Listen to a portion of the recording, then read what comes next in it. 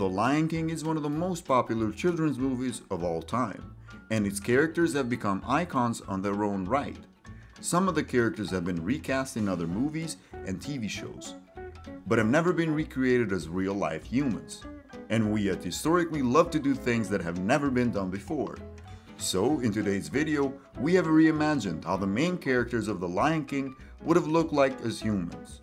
Oh yeah, we did recreate also the famous funny friends of Simba, the infamous Timon and Pumbaa. On the left side you will see the cartoon version, and on the right side you will see the version recreated by Historicly.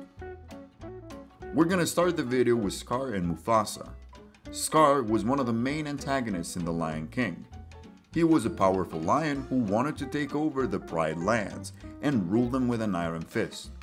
Scar's true intentions were never fully revealed, but it is known that he had a major hatred for Simba, and he wanted to kill him so he could take over the throne. Despite his harsh exterior, Scar was actually a coward who ran away when things got rough. The famous Jeremy Irons voices Scar in The Lion King. Well, as far as brains go, I got the lion's share, when it comes to brute strength, Mufasa was the king of the Pride lands and father of Simba. He was a wise and powerful lion who ruled with justice and compassion. Mufasa was loved by his people, and they respected him for his wisdom and courage.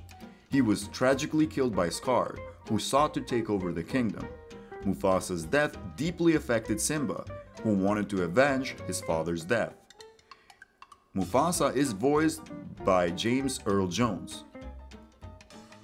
What am I going to do with him? He'd make a very handsome throw rug. Zazu. Nala is one of the most beloved characters in The Lion King. She is brave, loyal, and seemingly unstoppable. Her backstory is tragic but ultimately inspiring. She is a lioness who was born into slavery and eventually manages to escape with her family. Despite facing many challenges along the way, Nala remains strong and determined to find her place in the world. She's voiced by newcomer and Broadway sensation Jasmine Cephas Jones, who brings a new level of intensity and vulnerability to this scar-obsessed lioness.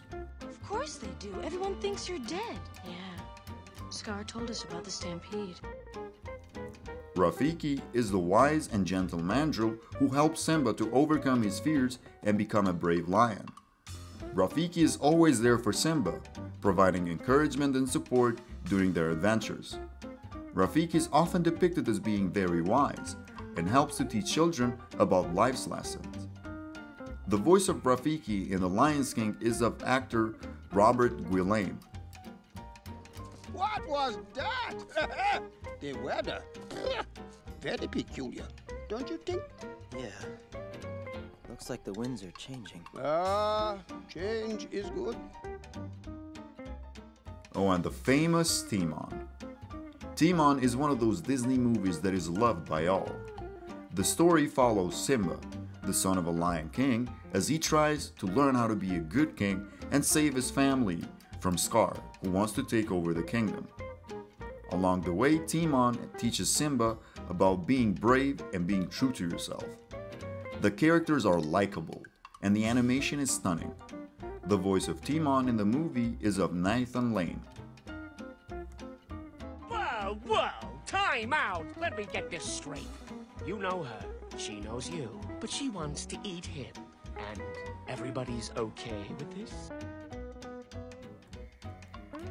Pumbaa. He is one of the most popular characters in the Lion King franchise. He is known for his fun-loving attitude and his powerful attacks. Pumbaa is also beloved by fans for his emotional moments in the movie.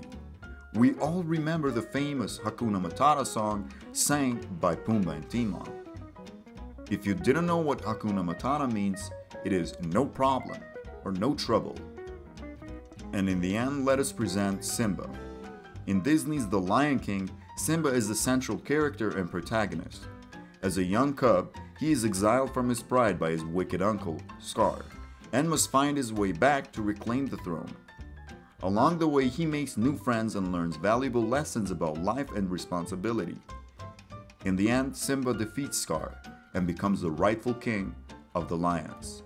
The voice of Simba in the movie is of Matthew Broderick. No, I'm not the king. Maybe I was gonna be, but that was a long time ago. And that's all we had for today. So please feel free to subscribe to our channel as we share content regularly. And we are open to hear any suggestions or critiques that you may have. Have a nice one.